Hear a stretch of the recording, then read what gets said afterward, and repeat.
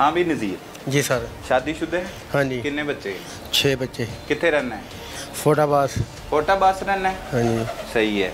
ਤੇ ਡਾਕਟਰ ਕਿੱਥੋਂ ਵਾਕਫ ਬਣੇ ਤੇਰਾ? ਡਾਕਟਰ ਮੇਰਾ ਦੂਰ ਦਾ ਰਿਸ਼ਤੇਦਾਰ ਆ। ਅੱਛਾ ਰਿਸ਼ਤੇਦਾਰ? ਕੀ ਲੱਗਦਾ ਹੈ? ਕਜ਼ਨ ਹੈ?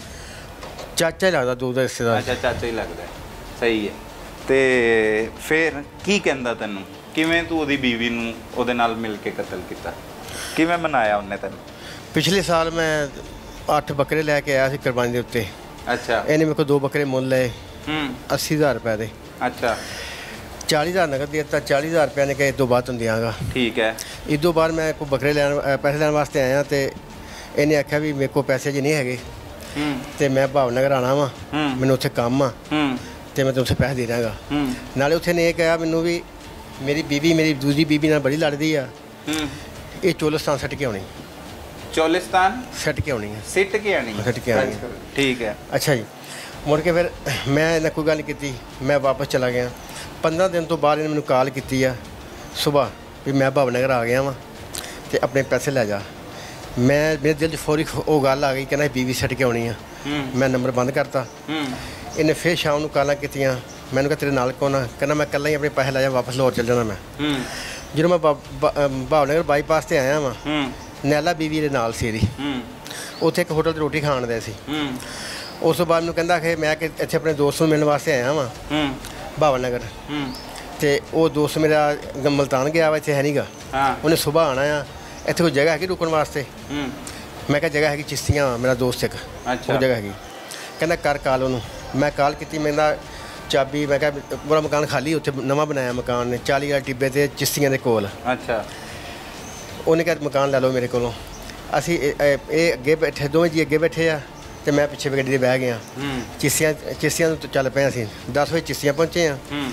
ਤੇ ਚਿਸ਼ਤੀਆਂ ਨੇ ਇੱਕ ਦਵਾਈਆਂ ਦੀ ਦੁਕਾਨ ਤੋਂ ਨਾ ਫਾਰਮੇਸੀ ਤੋਂ ਡ੍ਰਿਪ ਲਈ। ਨਾਲ ਕੋ ਟੀਕੇ ਲਏ।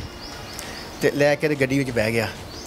ਅਸੀਂ ਚੱਲ ਜਾਂਦੇ ਆ ਰਿਆਜ਼ ਦੇ ਘਰ ਰਿਆਜ਼ ਨਾਈ ਦੇ ਘਰ। ਅੱਛਾ।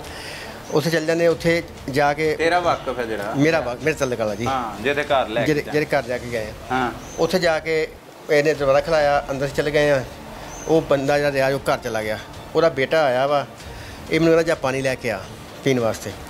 ਮੈਂ ਉਹਨੂੰ ਪਾਣੀ ਲੈਣ ਘੱਲਿਆ ਉਹ ਘਰੋਂ ਗਿਆ ਆਪਣੇ ਥੋੜਾ ਕੂਲਰ 'ਚ ਬਰਫ਼ ਪਾ ਕੇ ਪਾਣੀ ਲੈ ਕੇ ਤੇ ਮੈਂ ਬਾਹਰ ਰੋਡ ਤੇ ਖੜਾ ਰਿਹਾ। ਹੂੰ। ਜਦੋਂ ਮੈਂ ਪਾਣੀ ਲੈ ਕੇ ਆਇਆ ਵਾਪਸੀ ਇਹ ਇਹਨੇ ਡ੍ਰਿਪ ਲਾਈ ਸਾਨੂੰ। ਡ੍ਰਿਪ ਲਗਾ ਕੇ ਤੇ ਉਹ ਟੀਕੇ ਲਾਏ ਪ- ਪਾਈ ਜਾ ਰਿਹਾ ਡ੍ਰਿਪ ਦੇ ਉਹ ਲੰਮੀ ਪਈ ਸੀਗੀ। ਤੇ ਮੈਨੂੰ ਕਹਿੰਦਾ ਬਾਹਰ ਚੱਕਰ ਲਾ ਕੇ ਆ। ਬਾਹਰ ਦੇਖ ਕੇ ਆ। ਉਹ ਹੈ ਕਿ ਨਹੀਂ? ਮੈਂ ਬਾਹਰ ਗਿਆ ਚੱਕਰ ਲਾ ਕੇ ਆਇਆ।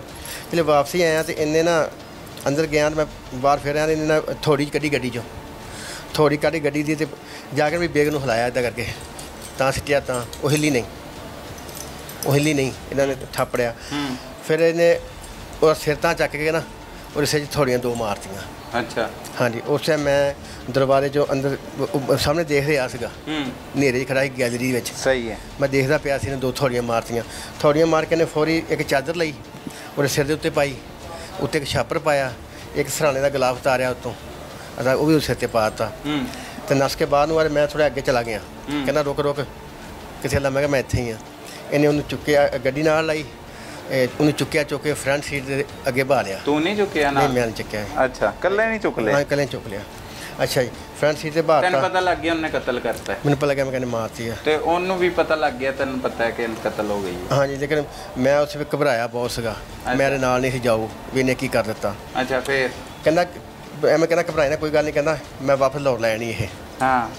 ਇਹਨੇ ਮੈਨੂੰ ਵਾਪ ਮੈਂ ਗੱਡੀ ਪਾ ਲਿਆ। ਹੂੰ। ਅੱਗੇ ਗਏ 10 5-7 ਕਿਲੋਮੀਟਰ। ਅੱਗੇ ਇੱਕ ਨਹਿਰ ਹੁੰਦੀ ਮਰਾਦ ਪੁਲ ਮਰਾਦ। ਉੱਥੇ ਨੇ ਨਾਲ ਨਾਲ ਗੱਡੀ ਕਰਕੇ ਨਹਿਰ ਦੇ ਗੱਡੀ ਘੁਮਾ ਕੇ ਇਹਦੇ ਜਿੱਧਰ ਨੈਲਾ ਬੈਠੀ ਸੀ ਨਾ ਉਹ ਸਾਈਡ ਘੁਮਾ ਕੇ ਨੇ ਨਹਿਰ ਦੇ ਉੱਤੇ ਲਾਈ ਉਹ ਉਤਰਿਆ ਉਹਨੂੰ ਚੁੱਕ ਕੇ ਪਾਣੀ ਛੱਡ ਦਿੱਤਾ। ਕੱਲੇ ਨੇ? ਇਕੱਲੇ ਨਹੀਂ ਜੀ। ਤੂੰ ਕੁਝ ਵੀ ਨਹੀਂ ਕੀਤਾ? ਨਹੀਂ ਮੈਂ ਪਿੱਛੇ ਬੈਠਾ ਰਿਹਾ ਮੈਂ ਡਰੀ ਗਿਆ। ਡਰੀ ਗਿਆ ਹਾਂਜੀ। ਬਸ ਹਾਂਜੀ, ਮੈਨੂੰ- ਹੋਰ ਨਹੀਂ ਕੁਝ ਕੀਤਾ? ਨਹੀਂ ਮੈਂ ਕੁਝ ਨਹੀਂ ਕੀਤਾ। ਮੈਂ ਘਬਰਾਈ ਗਿਆ। ਮੈਨੂੰ ਕਹਿੰਦਾ ਵੀ ਹੌਸਲਾ ਕਰ ਕੋਈ ਗੱਲ ਨਹੀਂ ਕਹਿੰਦਾ ਇਦਾਂ ਨਹੀਂ ਹੈਗੀ। ਮੁੜ ਕੇ ਉਹ ਕਹਿੰਦਾ ਸਭ ਕੁਝ ਮੈਂ ਤੇਰੇ ਨਾਲ ਮਿਲ ਕੇ ਕੀਤਾ। ਨਹੀਂ ਸਰ ਮੈਨੂੰ ਇਸ ਗੱਲ ਦਾ ਨਹੀਂ ਪਤਾ ਸੀ ਇਹਨੇ ਕੀ ਕਰਨਾ ਹੈ। ਇਹਨੇ ਮੈਨੂੰ ਧੱਕੇ ਨਾਲ ਨਾਲ ਮਲਸਫ ਕਰ ਲਿਆ ਉਹ ਬਸ। ਤੇਰੇ ਨਾਲ ਪਹਿਲੇ ਪਲੈਨਿੰਗ ਕਰ ਰਿਹਾ ਮੈਂ ਆਪਣੀ ਬੀਵੀ ਨੂੰ ਸੁੱਟ ਕੇ ਆਣਾ। ਨਹੀਂ। ਤੈਨੂੰ ਕੀ ਤੂੰ ਆਪੇ ਹੀ ਤੇ ਦੱਸੀ ਇਹ ਗੱਲ ਮੈਨੂੰ? ਉਹ ਪ- ਉਹਨੇ ਉੱਥੇ ਗਿਆ ਵੀ ਹਾਂ, ਲੇਕਿਨ। ਲੇਕਿਨ ਮੈਨੂੰ ਬਾਲ ਨੇ ਬੁਲਾ ਲਿਆ ਨਾਲ ਬਿਠਾ ਲਿਆ। ਲੇਕਿਨ ਮੈਂ ਨਹੀਂ ਸੀ ਚਾਹੁੰਦਾ ਵੀ ਇਹ ਕੰਮ ਕਰੇ। ਅੱਛਾ। ਇਦਾਂ ਦਾ। ਫਿਰ ਨਹਿਰ ਚ ਸੁੱਟਤਾ ਨਿਆ ਛੁੱਟਤਾ ਵਾਪਸੀ ਫਿਰ ਬਾਲਨਗਰ ਬਾਈਪਾਸ ਤੇ ਆ ਗਏ। ਮੈਂ ਕਿਹਾ ਮੈਨੂੰ ਇੱਥੇ ਤਾਰ ਦੇ। ਹੂੰ। ਇਹਨੂੰ ਬਾਈਪਾਸ ਨਹੀਂ ਤਾਰਿਆ ਇਹ ਅੱਗੇ ਲੈ ਕੇ ਆ ਗਿਆ ਤੇ ਮੈਂ ਕਿਹਾ ਮੈਨੂੰ ਲਾ ਦੇ ਇੱਥੇ। ਇਹਨੇ ਫਿਰ ਮੇਰਾ ਕਰਾਂ ਤੇ ਹੱਥ ਰਖਾਇਆ। ਹੂੰ। ਕਰਾਂ ਵੀ ਕੱਢਿਆ। ਇਹਨੇ ਕਿਹਾ ਤੇ ਹੱਥ ਰੱਖ। ਜੇ ਤੂੰ ਕਿਸੇ ਨਾਲ ਗੱਲ ਕੀਤੀ। ਇਹ ਤੇਰੇ ਇਲਾਕੇ ਮੈਂ ਸਿੱਟੀ ਆ ਤੇ ਤੇਰੇ ਤੇ ਪਾ ਦੇਣੀ ਆ। ਹਾਂ। ਇਹ ਗੱਲ ਨਹੀਂ ਕਰਨੀ। ਇਹ ਲਿਆ ਕੇ ਲਾਹੌਰ ਮੈਨੂੰ ਲਾਇਆ ਬਾਈਪਾਸ ਤੇ। ਮੇਰਾ ਬਕਾਇਆ 40000 ਬੱਕਰਿਆਂ ਦਾ ਸੀ ਨਾ ਉਹ ਹੀ ਮੈਨੂੰ ਦਿੱਤਾ ਇਹਨੇ। ਉੱਥੇ। ਦਿੱਤਾ? ਹੈ? ਦਿੱਤਾ। ਬਕਾਇਆ ਅੱਛਾ, 80000 ਅੱਛਾ। ਬੱਕਰੇ ਲਈ 40 ਨਗਦ ਦਿੱਤਾ ਸੀ ਚਾਰ ਹਾਂ। ਹਜ਼ਾਰ ਸੀਗਾ। ਮੈਂ ਵਾਪਸ ਆਪਣੇ ਘਰ ਆ ਗਿਆ। ਪੰਜ ਸੱਤ ਦਿਨ ਤੋਂ ਬਾਅਦ ਮੈਨੂੰ ਨੇ ਕਾਲ ਕੀਤੀ। ਕੀ ਕਹਿੰਦਾ? ਕਹਿੰਦਾ ਮੇਰੀ ਗੱਲ ਸੁਣੋ ਇੱਥੇ ਆ ਕਹਿੰਦਾ ਇੱਥੇ ਆ ਕਹਿੰਦਾ ਲਾਹੌਰ ਮੇਰੀ ਗੱਲ ਸੁਣ। ਮੈਂ ਕਿਹਾ ਕੀ ਕਹਿਣਾ? ਇਹ ਕੰਮ ਆ ਚੱਲਣਾ ਮੈਂ ਕਿਹਾ ਮੈਂ ਮੇਰੇ ਕੋ ਨਹੀਂ ਆਉਣਾ ਟਾਈਮ ਕਹਿੰਦਾ ਫਿਰ ਕੰਮ ਉਲਟ ਚੱਲ ਪੈ ਜਾਏਗਾ ਤੇਰੇ ਤੇ। ਹੂੰ। ਮੈਂ ਫਿਰ ਬਾਈਪਾਸ ਤੇ ਆ ਗਿਆ। ਹੂੰ। ਬਾਈਪਾਸ ਆਇਆ ਉੱਥੇ ਮੈਨੇ ਮੋਬਾਈਲ ਦਿੱਤਾ ਟੱਚ ਵੀ ਆਹ ਮੋਬਾਈਲ ਜਿਹੜਾ ਕਰਾਚੀ ਜਾ ਕੇ ਚਲਾਣਾ ਵਾ ਬੈਰੀਅਰ ਟਾਊਨ ਵਿੱਚ। ਹੂੰ। ਦੋ ਤਿੰਨ ਘੰਟੇ। ਹੂੰ ਚਲਾ ਕੇ ਵਾਪਸ ਆਣਾ। ਮੇਰਾ ਮੋਬਾਈਲ ਇਹਨੇ ਪਕੜ ਲਿਆ। ਆਪਣਾ ਮੋਬਾਈਲ ਦੇ ਦਿੱਤਾ। ਠੀਕ ਹੈ। 12000 ਰੁਪਏ ਕਿਰਾਇਆ ਦੇ ਦਿੱਤਾ ਇਹਨੇ।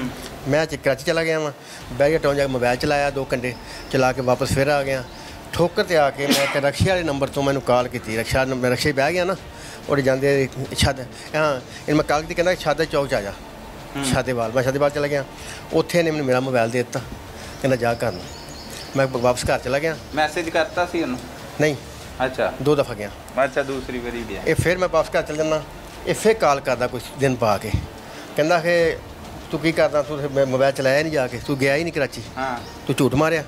ਇੱਥੋਂ ਮੋਬਾਈਲ ਘੁਮਾ ਕੇ ਮੈਨੂੰ ਦੇ ਦਿੱਤਾ। ਜਲਦੀ ਆ। ਮੈਂ ਫਿਰ ਵਾਪਸ ਆ ਗਿਆ। ਇਹਨੇ ਮੋਬਾਈਲ ਨੂੰ ਪਕੜਾਇਆ। ਦੋ ਨੇ ਇੱਕ ਪਰਚੀ ਲਿਖ ਕੇ ਦਿੱਤੀ। ਉੱਤੇ ਮੈਸੇਜ ਲਿਖਿਆ ਸੀ। ਹੂੰ। ਉਹ ਮੋਬਾਈਲ ਮੇਰਾ ਮੋਬਾਈਲ ਨੇ ਕਿ ਆਪਣਾ ਬੰਦ ਰੱਖਣਾ। ਮੈਂ ਆਪਣਾ ਮੋਬਾਈਲ ਬੰਦ ਕਰ ਲਿਆ। ਮੈਂ ਚਲ ਗਿਆ ਕਰਾਚੀ ਫਿਰ ਕਹਿਣ ਤੇ। ਮੈਂ ਜਾ ਕੇ ਮੋਬਾਈਲ ਕਿੱਥੇ ਜਾਂਦਾ ਸੀ? ਟ੍ਰੇਨ ਚ? ਟ੍ਰੇਨ ਤੇ। ਅੱਛਾ। ਕਹ ਚਲ ਗਿਆ ਕੈਂਟ ਉਤਰ ਗਿਆ। ਜਾ ਕੇ ਉੱਥੇ ਮੋਬਾਈਲ ਆਨ ਕੀਤਾ ਕਰਾਚੀ। ਹਾਂ। ਬਾਬੇ ਕਹਦੇ ਆਦਮ ਦੇ ਮਜ਼ਾਰ ਤੇ ਮੈਂ ਗਿਆ। ਉੱਥੇ ਮੋਬਾਈਲ ਚੱਲਦਾ ਰਿਹਾ ਉੱਥੋਂ ਵਾਪਸੀ ਮੈਂ ਆ ਗਿਆ ਸਦਰ ਮਾਰਕੀਟ ਨਹੀਂ ਸਦਰ ਬਾਜ਼ਾਰ ਜੀ। ਹਾਂ। ਉਧਰ ਆ ਗਿਆ ਅੱਗੇ ਇੱਕ ਮਾਰਕੀਟ ਮੋਬਾਈਲ ਮਾਰਕੀਟ ਆ। ਉੱਥੇ ਮੋਬਾਈਲਾਂ ਦੀ ਦੁਕਾਨ ਤੇ ਗਿਆ ਉਹਨੇ ਮੈਨੂੰ ਮੈਸੇਜ ਨਹੀਂ ਮੇਰਾ ਕੀਤਾ। ਦੂਜੀ ਤੇ ਗਿਆ ਨਹੀਂ ਮੈਸੇਜ ਕੀਤਾ। ਹੂੰ। ਤੀਸ ਦੁਕਾਨ ਤੇ ਗਿਆ ਮੈਂ ਉਹਨੂੰ ਕਹਿਣ ਲੱਗਾ ਮੈਸੇਜ ਕਾਦੇ ਕਿ ਨਾਲ ਲੜਕਾ ਖੜਾ ਸੀ। ਹਾਂ। ਆਈ ਨਬੀ ਉਹਨੇ ਉਹਨੇ ਆਖਿਆ ਵੀ ਲਿਆ ਮੈਂ ਮੈਸੇਜ ਕਰ ਦਿੰਦਾ। ਉਹਨੇ ਮੋਬਾਈਲ ਪਕੜ ਕੇ ਉੱਥੇ ਬੈਠ ਕੇ ਮੈਸੇਜ ਕਰ ਦਿੱਤਾ। ਅੱਛਾ। ਉਹ ਨੰਬਰ ਮੈਂ ਮੋਬਾਈਲ ਉਹਦੀ ਚੱਲਦਾ ਲੈ ਕੇ ਫਿਰ ਚਲ ਗਿਆ ਸ਼ਰਾਬ ਕੋਟ ਅੱਛਾ। ਮੈਂ ਕਿਹਾ ਬੱਸਾਂ ਅੱਜ ਜਾਂਦਾ ਵਾਸੀ ਬੱਸਾਂ ਤੇ। ਤੇ ਨਾਲੇ ਉਹ ਮੋਬਾਈਲ ਸਿੱਟਣਾ ਸੀ ਗੰਦੇ ਨਾਲੇ 'ਚ। ਸ਼ਰਾਬ ਕੋਟ ਇੱਕ ਗੰਦਾ ਨਾਲਾ ਵਾ ਵੱਡਾ ਸਾਰਾ। ਉਹ ਨਦੀ ਕਹਿੰਦੇ ਉੱਥੇ। ਉਹ 'ਚ ਮੋਬਾਈਲ ਬੰਨ ਕੇ ਮੋਬਾਈਲ ਛੱਡ ਦਿੱਤਾ। ਛੱਡ ਕੇ ਮੈਂ ਵਾਪਸੀ ਆ ਗਿਆ ਬਹਾਰਪੁਰ ਲੈ ਗਿਆ। ਇਹਨੇ ਵਾਪਸੀ ਮੈਨੂੰ ਦੂਏ ਤੀਜੇ ਦਿਨ ਕਾਲ ਕੀਤੀ ਆ। ਹਾਂ ਕੰਮ ਹੋ ਗਿਆ। ਮੈਂ ਕਿਹਾ ਹਾਂ ਹੋ ਗਿਆ ਮੋਬਾਈਲ ਛੱਡ ਦਿੱਤਾ। ਕਹਿੰਦਾ ਮੋਬਾਈਲ ਦਾ ਨਾਮ ਕਿੰਨੇ ਬੱਚੇ ਹੀ 6 ਬੱਚੇ। ਤੇ ਕੀ ਬਣੇਗਾ ਉਹਨਾਂ ਦਾ ਹੁਣ? ਰੱਬ ਵਾਰਸ। ਰੱਬ ਵਾਰਸ। ਤੇ ਠੀਕ ਕੀਤਾ ਹੀ ਜੋ ਕੀਤਾ? ਨਹੀਂ ਗਲਤ ਕੀਤਾ। ਗਲਤ ਕੀਤਾ? ਮੇਰੇ ਕੋ ਕਰਵਾ ਗਲਤ ਮੈਂ ਮੈਂ ਕੀਤਾ ਨਹੀਂ। ਕਦੀ ਮਲਾਮਤ ਨਹੀਂ ਕੀਤੀ? ਤੂੰ ਕਤਲ ਤੇਰੇ ਸਾਹਮਣੇ ਹੋਇਆ ਤੂੰ ਜਗ੍ਹਾ ਪ੍ਰੋਵਾਈਡ ਕਰਕੇ ਦਿੱਤੀ ਆਪ ਉਹਦੇ ਨਾਲ ਲਾਸ਼ ਸੁੱਟੀ ਕਿ ਪੁਲਿਸ ਨੂੰ ਦੱਸ ਦਵਾਂ ਬਰੀਓ ਜ਼ਿੰਮਾ ਹੋਈ ਜਾਵਾਂ ਮੇਰਾ ਕੋਈ ਕਸੂਰ ਨਹੀਂ। ਮੈਂ ਬੜਾ ਪਰੇਸ਼ਾਨ ਰਿਹਾ। ਮੈਂ ਨੀਂਦ ਆਈ ਜਾਂਦੀ ਸੀ? ਨਹੀਂ ਆਉਂਦੀ ਸੀ।